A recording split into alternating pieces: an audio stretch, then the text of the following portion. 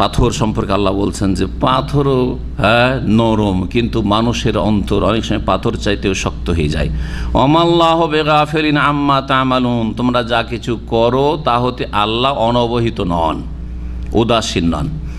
আফাতাত মাউন আইয়ু মেনুলাকুম এখন মমিন মুসলিমদেরকে সম্বোধন করে আল্লাহ রব্বুল আলমিন বলছেন যে, তোমরা ইহুদিদের সম্পর্কে আশা করছ যে, ইহুদিরা ইসলাম গ্রহণ করবে, এই আশা ইহুদিদের সম্পর্কে করিও না। এই জন্য নবী করিম সাল্লাহামের জামানায় অধিকাংশ মুশরেক পত্তলিকরা হেদায়ত হয়েছে। মক্কার লোকেরা মুশরেক ছিল আর মদিনার আওস খাজরা যারা আনসারি হয়েছে, তারা সব মুশরেক ছিল, প্রতিমা পূজারী ছিল, তারা হেদায়ত হয়েছে। হেদায়ত হয়েছে খ্রিস্টানরা।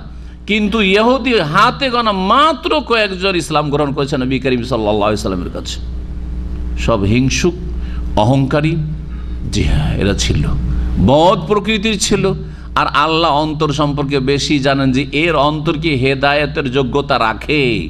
এর অন্তর কি হেদায়তের চাহিদা আছে, সঠিক রাস্তার সন্ধানের তলাশে সে আছে? যদি তলাশে থাকে, তো আল্লাহ তৌফিক দেবেন। আর যে অহংকার করে হকের সামনে, সত্যের সামনেই।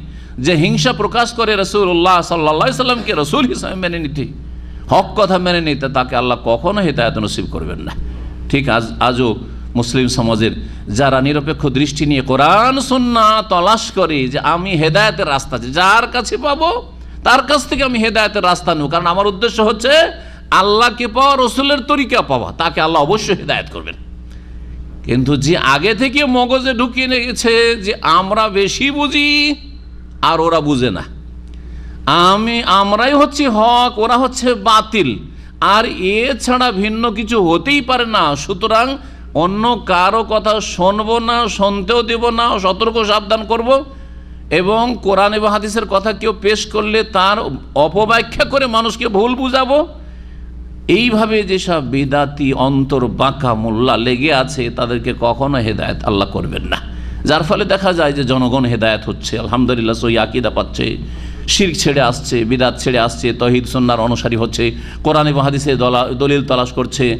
তারপরে দুনিয়ার শিক্ষায় শিক্ষিত লোকেরা যারা আল্লাহ ভীরু, দুনিয়ার শিক্ষিত, শিক্ষায় শিক্ষিত একদল আছে যারা বেদিন নাস্তিক, হয়তো তার সারা জীবন গরজ হলো না আখেরা তা আল্লাহকে হেদায়ত করবে না? কিন্তু দুনিয়ার শিক্ষায় শিক্ষিত বিভিন্ন পাপে জড়িয়ে আছে, কিন্তু আল্লাহর ভয়ও আছে, আল্লাহর ভয় আছে এবং হকের সন্ধানও আছে। আল্লাহ ওদেরকে হেদায়ত করছেন।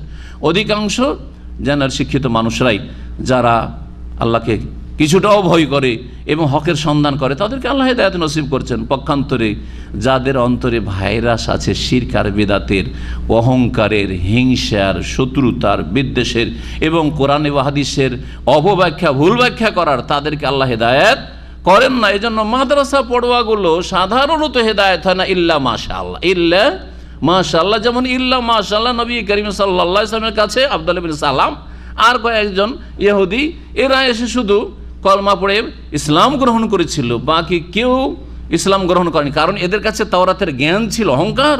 আমরা তওরাতের পণ্ডিত। হ্যাঁ এরা নিজেদেরকে সিনিয়র মনে করতো। এরা মনে করতো, আমরা হচ্ছি ইয়াকুব আলাহ ইসলামের আওলাদ। কেন ইসমাইলের আওলাদের নবীকে মানব? হিংসা, অহংকার কাজ করেছে সত্য গ্রহণে। যেসব বাধা রয়েছে, তার মধ্যে একটি হচ্ছে হিংসা, আরেকটি হচ্ছে অহংকার। আরেকটি হচ্ছে শত্রুতা, আরেকটি হচ্ছে অজ্ঞতা। অজ্ঞতা অনেকে অজ্ঞতা। অজ্ঞতা অজ্ঞতা দূর করার জন্য কাছাকাছি যেতে হবে। কোরআন সন্না দিয়ে যাচাই বাছাই করতে ও যাচাই বাছাই করতে যাবে না। অজ্ঞ তো অজ্ঞ থেকে যাবে। তৌহিদ জানেই না ও। তৌহিদ কত প্রকার ও কী কী। তৌহিদের সংজ্ঞাও জানে না। বিধাত হ্যাঁ বিধাতকে দিল দুই ভাগে ভাগ করে। বেদাতে হাসান আর বেদাতে সাইয়া আর যার ফলে যেসব বেদাত তারা করে সেগুলি হচ্ছে হাসানা। আর যেগুলো বিরোধীরা করে, অন্য বিরোধী আরও বেদাতি আছে মেলা, ওগুলো হচ্ছে বেদাতে সাইয়া আমাদের আমাদের বুজরুগানের দিনেরা যেসব বিদাত করেছে, ওগুলো বিদাতে হাসানা। যার ফলে আল্লাহ হেদায়ত করে না ওদেরকে। যার ফলে এদেরকে হেদায়ত করেন আল্লাহ রবুল আলম তো আল্লাহ বলছেন আফাতাত মাউন মেনুলাকুম হে মমিন মুসলিমরা, হে সাহাবিরা, নবীর, তোমরা কি এই আশা আকাঙ্ক্ষা করছ? তামা এতমা মানে লালসা করা হ্যাঁ? লোভ করা, লালসা করা যে এরাও মুসলিম হয়ে যাক। আমরা যেমন ইসলাম গ্রহণ করেছি, ইয়াহুদিরাও সকলে যে তিনটা গোত্র মদিনা আছে, এরাও মুসলিম হয়ে যাক। আফাতাত মাউনা কি তোমরা এই আশা আকাঙ্ক্ষা করছ যে আইও মেনুলাকুম তোমরা, তোমাদের কথা তারা বিশ্বাস করুক, তোমাদের কথায় তারা ইমান নিয়ে আসুক। ওকাদ কানা ফরিক মিনহুম ইয়াসমাউনা কালাম আল্লাহ অথচ তাদের একটি দল আল্লাহর বাণী শোনে। শোনার পরে অসৎ উদ্দেশ্য সুম্মাই হার্রেফুন মিমবাদে মা কালু হোক তারপরে তা বুঝে নেওয়ার পরে জেনে শুনে অহমিয়া আলামন জেনে শুনে তাতে অপব্যাখ্যা করে বা তার বিকৃতি ঘটায়।